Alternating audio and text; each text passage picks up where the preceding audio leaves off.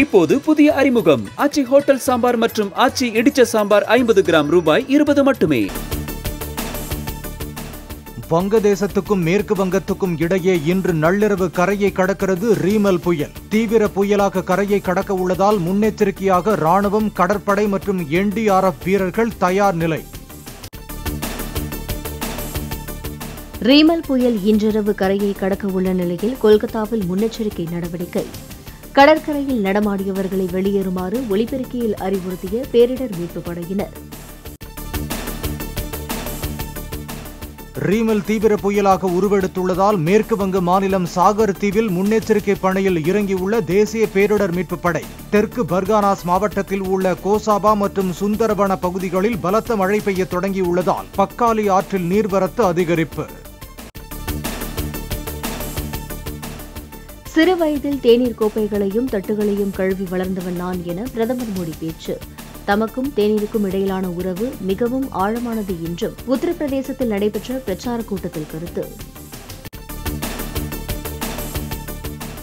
குஜராத் மாநிலம் ராஜ்கோட்டில் விளையாட்டு மையத்தில் ஏற்பட்ட தீ விபத்தில் சிறுவர்கள் உட்பட முப்பதுக்கும் மேற்பட்டோர் உயிரிழப்பு. டிஎன்ஏ சோதனையின் அடிப்படையில் தீயில் கருகியவர்களின் உடல்களை அடையாளம் காண அதிகாரிகள் நடவடிக்கை. தமிழ்நாட்டில் அடுத்த இருபத்தி நான்கு மணி நேரத்திற்கு ஓரிரு இடங்களில் லேசானது முதல் மிதமான மழை பெய்ய வாய்ப்பு. வரும் ஒன்றாம் தேதி வரை ஒரு சில இடங்களில் இடி மின்னலுடன் கூடிய மிதமான மழை தொடரக்கூடும் என்றும் வானிலை மையம் தகவல். தமிழ்நாட்டில் அடுத்த ஐந்து நாட்களுக்கு இயல்பை விட மூன்று டிகிரி செல்சியஸ் வரை வெப்பநிலை படிப்படியாக உயர வாய்ப்பு.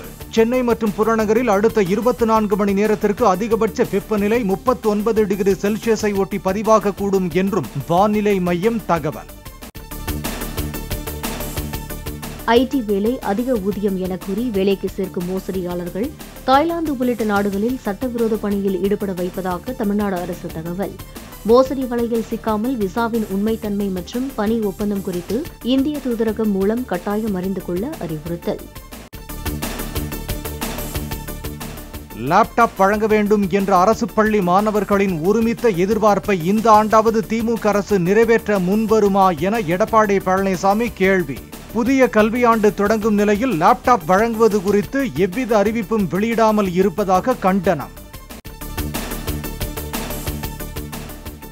ஜூன் ஆறாம் தேதி பள்ளிகள் திறக்க உள்ள நிலையில் பின்பற்ற வேண்டிய வழிகாட்டு நெறிமுறைகளை வெளியிட்டது பள்ளிக் கல்வித்துறை. பள்ளிகளின் சுகாதாரம் மற்றும் மாணவர்களின் பாதுகாப்பை உறுதி செய்ய மாவட்ட முதன்மை கல்வி அலுவலர்களுக்கு சுற்றறிக்கை ராமேஸ்வரம் மீன்பிடி துறைமுகத்தில் முன்னூறு மீட்டர் தொலைவுக்கு கடல் உள்வாங்கியதால் தரை தட்டிய நாட்டு படகுகள். தனுஷ்கோடியில் எண்ணூறு மீட்டர் தூரத்திற்கு ஏற்பட்ட கடல் அரிப்பால் அறுபது ஆண்டுகளுக்கு முன் பதிக்கப்பட்ட கான்கிரீட் குழாய்கள் வெளியே தென்படுகின்றன.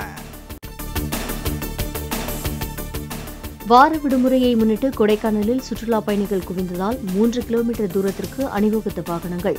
பிரையன் பூங்கா வெள்ளி நீர்வீழ்ச்சி நட்சத்திர ஏரி உள்ளிட்ட இடங்களில் குவிந்த சுற்றுலா பயணிகள்.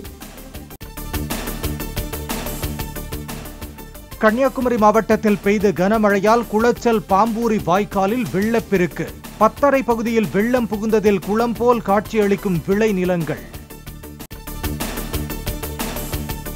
நீலகிரி மாவட்டத்திற்கு செல்ல இ பாஸ் கட்டாயமாக்கப்பட்டதால் அரசு பேருந்து உள்ளிட்ட பொது போக்குவரத்தை சுற்றுலா பயணிகள் அதிக அளவில் பயன்படுத்தியுள்ளதாக போக்குவரத்து துறை தகவல்.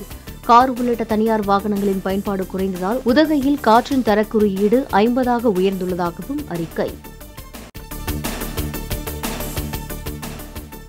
சென்னை தியாகராய நகர் தொகுதி அதிமுக முன்னாள் எம்எல்ஏ சத்யா மற்றும் மாநகராட்சி அதிகாரிகள் உட்பட ஏழு பேர் மீது லஞ்ச ஒழிப்புத்துறை வழக்கு பதிவு.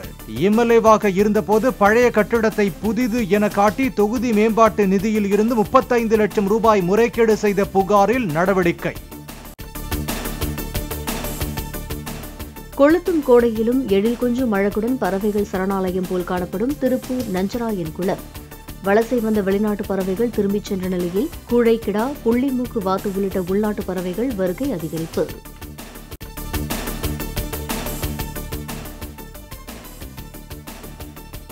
மகாராஷ்டிராவில் நகைக்கடை அதிபருக்கு தொடர்புடைய இடங்களில் நடத்தப்பட்ட வருமான வரித்துறை சோதனையில் கட்டுக்கட்டாக இருபத்தாறு கோடி ரூபாய் ரொக்கம் பறிமுதல். முப்பது மணி நேரத்திற்கு மேல் நடந்த சோதனையில் தொண்ணூறு கோடி ரூபாய் மதிப்பிலான சொத்து ஆவணங்கள் சிக்கியதாகவும் தகவல்.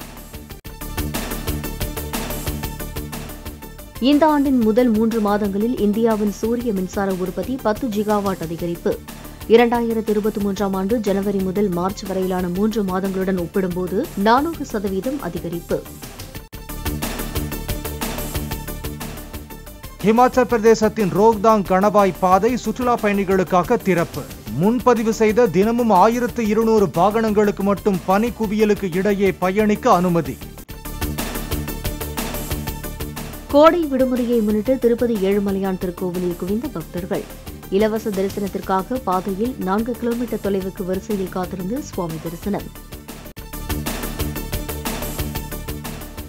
ஹிமாச்சல் பிரதேசத்தில் உள்ள குருத்வாராவில் வழிபாடு நடத்திய ராகுல் காந்தி முதலமைச்சர் சுக்வீந்தர் சிங் சுகுவுடன் இணைந்து பிரார்த்தனை. மக்களவைத் தேர்தல் பரப்புரையை மத அடிப்படையில் பாஜக மேற்கொள்ளவில்லை என அமித்ஷா திட்டவட்டம். முன்னூற்றி எழுபது சட்டப்பிரிவு பொது சிவில் சட்டம் இஸ்லாமியர் இடஒதுக்கீடு பற்றி பேசினால் மத ரீதியான பிரச்சாரம் என கூறுவதா என்றும் கேள்வி. தலைநகர் டெல்லியில் மூன்று நாட்கள் கடும் வெப்பாலை வீச வாய்ப்பு இருப்பதற்கான ரெட் அலர்ட் விடுப்பு. இந்தியா கேட் பகுதியில் சுற்றுலாவாசிகளுக்கு குடிநீர் விநியோகம் மற்றும் பூங்காவில் தண்ணீர் தெளிப்பு. ஐபிஎல் கிரிக்கெட் தொடரின் இறுதிப் போட்டியில் ஹைதராபாத் கொல்கத்தா அணிகள் இன்று மோதல். சென்னை சேப்பாக்கம் மைதானத்தில் சமபலம் வாய்ந்த இரு அணிகளும் விளையாடுவதால் ரசிகர்களிடம் எதிர்பார்ப்பு. இப்போது புதிய அறிமுகம். ஆச்சி ஹோட்டல் சாம்பார் மற்றும் ஆச்சி இடிச்ச சாம்பார் ஐம்பது கிராம் ரூபாய் இருபது மட்டுமே.